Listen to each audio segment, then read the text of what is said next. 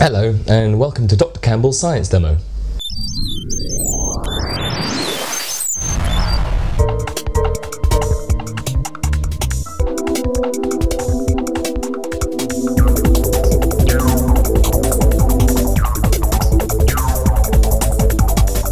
Hi, I'm Dr. James Campbell, and you're watching Dr. Campbell's science demo.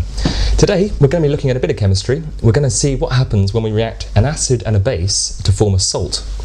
Just for your information, a base is what you mix with water to make an alkali solution. A base is the opposite of, a, of an acid. An acid gives um, protons, a base will accept protons. Bit technical there, but for our uh, experiment, I had to trawl through our kitchen cupboards. Uh, the first thing I came across, I was looking for a base, was some baking powder.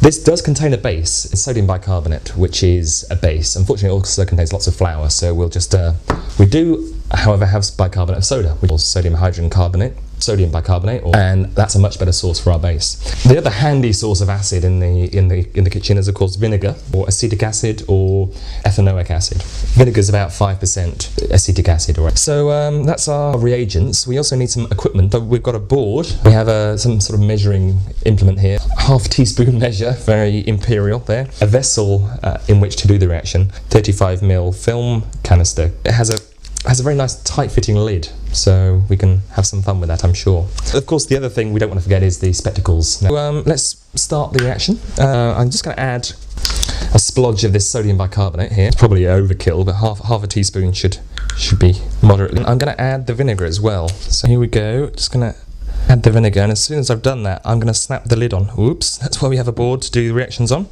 Okay ready? Let's see what's going to happen. Add the lid in and take cover. Way!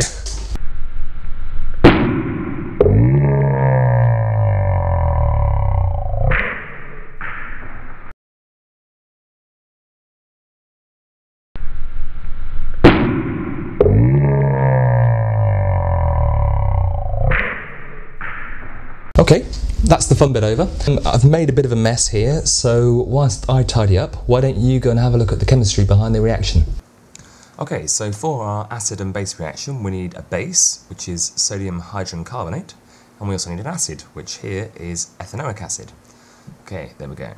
Now, when they react, they form the salt, which is sodium acetate, which I'm just writing here, and we also get carbon dioxide, which is what made the case go pop, and we get some water released as well. There you have it. An acid reacts with a base to form a salt. Fascinating, remember that one. So that's all. Thanks for watching and see you next time. Bye.